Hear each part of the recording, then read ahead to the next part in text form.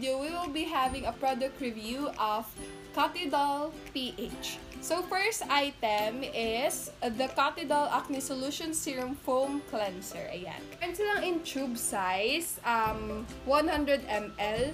Also, meron din silang nasa pouch. Yung alam mo yung pwedeng ilagay sa bag. Ayan. Ah, same lang ito yung same nito yung kanina, Acne Solution Serum Foam Cleanser. They have also the Aura Whitening Serum Foam Cleanser.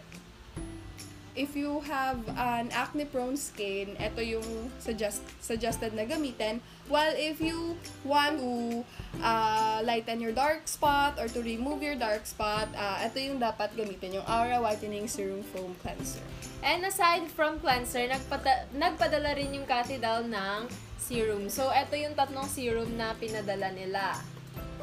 So, they have this spotlight, which is this one.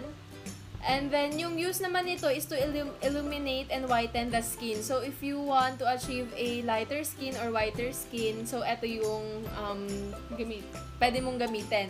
This one naman is for oil control or pore lightening. So, kung ikaw, open yung pores mo, tapos masyado kang oily, kung gusto mong makontrol yung um, pagka-oily mo, pwede mong gamitin itong serum na to.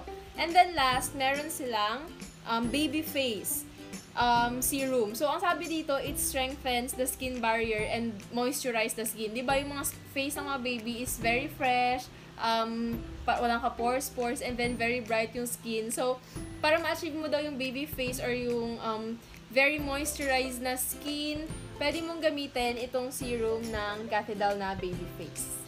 So, Cathedral also sent us make different makeup products and we will be introducing them to you. So, let us start with uh, their BB cream. So, meron silang pinadalang uh, BB Matte cr- Cover Cream SPF 50 PA+++. Ayan.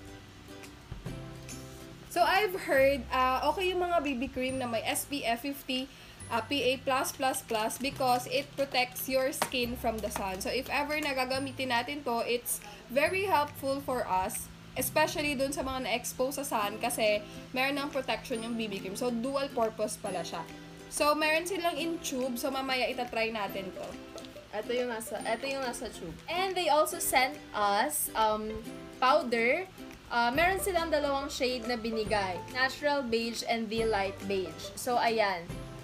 So, later on, we are going to try one of um, this powder. Siyempre, itatry natin yung medyo, I mean, yung bagay sa skin natin. And then, aside from these powders, meron din silang sinend na eyebrow pencil. So, ito yung eyebrow pencil. Dalawa rin yung sinend nila. So, syempre, magkaiba yung shade. We have the number 1 and the number 2 shade. Yung number 1 shade is yung dark brown and yung number 2 shade is ash brown. Meron din silang sinend na eyeliner and mascara. So, this one is their eyeliner. Ayan. Liquid eyeliner. This one naman is their mascara. So, hindi makakompleto yung ating makeup set kung walang mga lipstick or lip tints. Meron sinend yung Cotidol PH ng Mini Lip and Chick Creamy Matte. Ayan. Tatlo siya.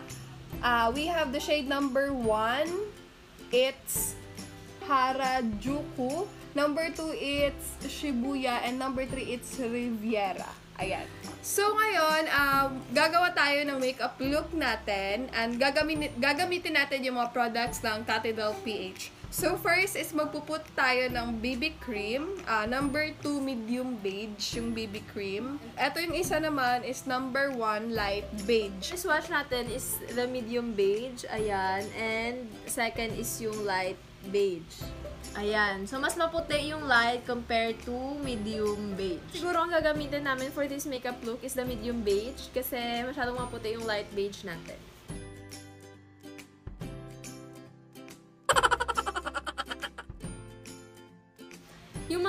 Shades na binigay sa amin is very light and I think it's not our shade. But anyways, we are trying their um, BB cream naman. So, based sa aking experience nung nilagay ko siya, it's very creamy.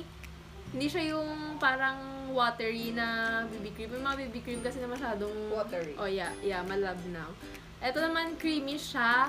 Like, parang sticky siya sa face kapag nilagay mo. So, tapos na namin ilagay yung BB cream and we are going to try their mini lip and cheek tint. So, unahin namin maglagay ng cheek tint. So, itatry natin itong tatlo. Isa-swatch muna natin siya. So, first shade is um, the shade Harajuku. So, ganito yung, ano, yung mini lip and cheek creamy matte ng Catedral. Ayan. Ayan. So, ayan yung shade na uh, Harajuku. Next naman is the number 2 shade nila, which is yung Shibuya shade. Ayan, yan yung shade na Shibuya. Lastly is the Rivera. I think this is the dark one. Ayan. So, ito yung gagamitin natin na um, cheek tint and yung gagamitin, gagamitin natin na lip tint. So, for my cheek tint, I will be using the shade number 2. And I will be using the shade number 1.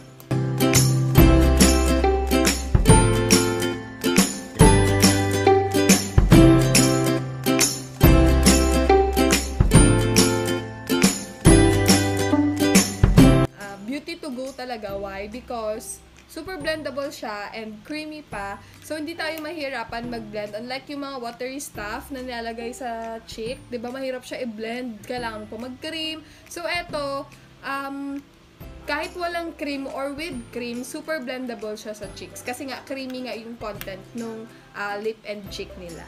Papansin ko lang, kapag ka naglagay ka nito, kahit sobrang dami, pero yung ano niya sa face, yung effect niya sa face is hindi ganun kakapal. And we, will be using also their cheek and lip tint for our eyeshadow. Tingnan lang natin kung ano yung effect niya. I will be using the shade number 1 naman this time. And I will be using the shade number 3. So, ito yung darker shade. So, itatry natin siya ilalagay sa ating eyeshadow.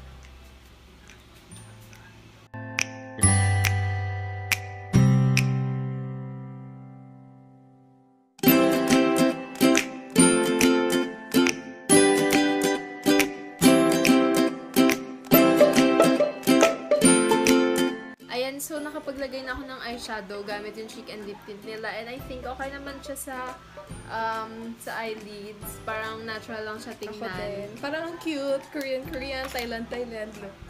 So, next product ang gagamitin na natin is ang kanilang powder. Pero ang gagamitin namin na shade is itong Natural Beige Number 2. number 2. Ah, i-open natin siya para makita nyo. Ito yung packaging ng kanilang powder. Ito yung shade number 23. Ayan.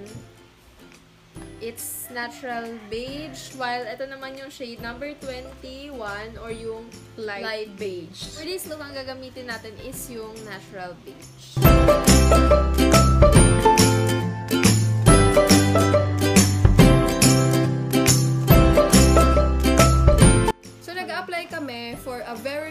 Minimal lang talaga kasi para makontrol din yung paglalagay ng powder kasi ayaw naman natin na masyado tayong maputi.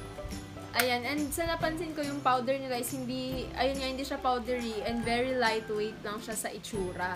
Not to the point na parang wala ka ng powder sa itsura ha. As in, light lang talaga siya. Nalagyan ka ng powder pero hindi siya ganun kabigat sa feeling. So, for our eyebrow pencil, we have the dark brown and the ash brown. So, hindi na natin siya isa-swatch because we are going to try both. She will be using the dark brown and I will be using the ash brown. This is their eyebrow pencil. And then, ito yung kanyang, ah ito mismo yung, ano niya, yung tip niya. As you can see.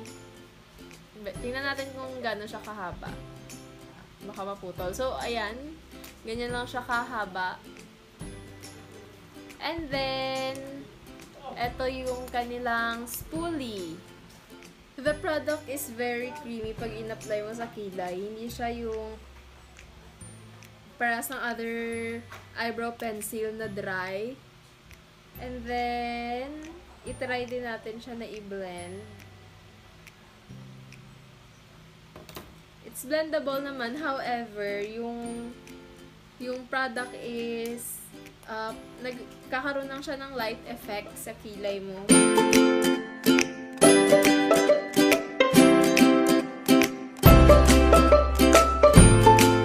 So, going to use their liquid eyeliner. So, ito yung liquid eyeliner nila. And then, kaya lang. Ah, ayan. Ayan yung tip ng liquid eyeliner. What I've um, observed upl- upon applying their products, more on natural look lang talaga yung dapat ma-achieve uh, nung skin mo. Yung mga products na super pigmented talaga siya, na pang heavy look siya, while the product of Cotidol is for natural look lang siya. Yung parang everyday to go, for, for your work, for your school, yan. As we have noticed, madaling matuyo yung eyeliner nila. Ah, hindi ka mahihirapan magpatuyo and then hindi siya dumidikit dito. So, next step is we will be going to apply the Lazy Lashes Mascara of Cotidol. Long, long, longest lashes without dryness, tight pigment. Ayan. Ayan. Siya. So, ayan, hintayin natin siya while she's applying the mascara.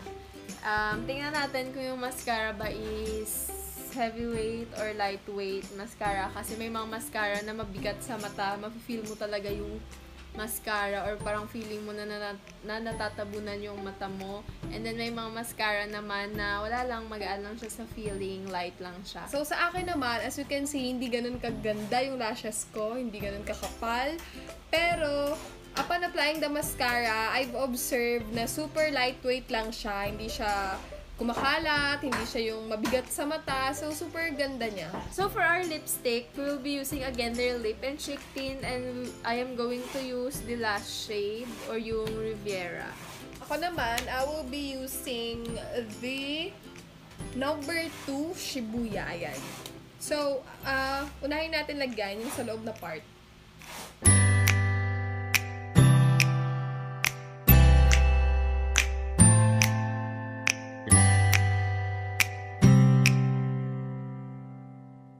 So tapos na kami mag-apply ng lipstick and sa napapansin ko sa lipstick nila, it's very creamy kapag na-apply sa lips. And then aside sa ah, ano ba to? Matte ba to? Ang sa ah, yes, creamy matte. Kasi sabi ko ba't parang glossy? Siguro it's because of the um, creamy niya na texture. Kaya siguro hindi masyadong na-emphasize yung pagka-matte niya. Although matte naman siya, hindi naman siya yung parang mabilis matanggal sa lips. Pero pag nakita mo in person, parang medyo may pagka-glossy siya. So, kakatapos lang namin gawin yung look namin with Cotidol PH Cosmetics and Products. So, we are going to finalize the look and we will be right back. So this is our final look using the Coffee Doll product. So please visit their social media accounts, FB page at Doll Feels, IG at Doll Feels, and Twitter at Doll underscore Feels. We also have their YouTube account. Just search Capital Philippines and please use their hashtags hashtag Catidal Philippines. If you want to buy and purchase the products that we've used earlier, visit Watson stores nationwide, Watson's online, 7-Eleven, Mercury Drug Stores nationwide, Robinson's Department Stores nationwide, Metro Department Stores nationwide, Shopee, Lazada, Beauty MNL, and Calixta. So overall review, I love how Catidol products gave me the natural look I've wanted to achieve. Ayan. Then nga, natural, ah, natural yung effect niya sa face. It's very good. However, yung ibang product, kailangan mo talaga siya na i-apply ng mabuti sa face kasi sa napapansin ko, madali siyang, um, parang madali siyang ma-absorb nung itsura mo or parang madali siyang mawala. But then, the, all products are good, especially there. Siguro nung nagustuhan ko talaga ito, oh, yung kanilang BB cream. Kaso nga lang, yung shade is hindi siya ganun, ganun ka-perfect para sa akin. Kasi dapat um, medyo darker pa dito. And then, yung mga tints naman nila, it's good because hindi siya ka-dry ng lips and it's creamy. So, nagustuhan din namin yung eyeliner ng Cotidol because ah, madali siyang matuyo and hindi siya yung watery and creamy. Tamang-tama lang yung pigment niya when you put it sa when you put it as an eyeliner.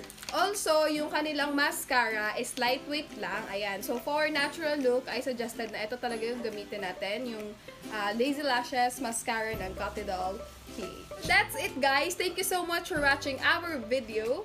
And don't forget to like, share, comment, subscribe, and click the notification bell so that you will get notified every time may bago kaming videos. Bye! Bye!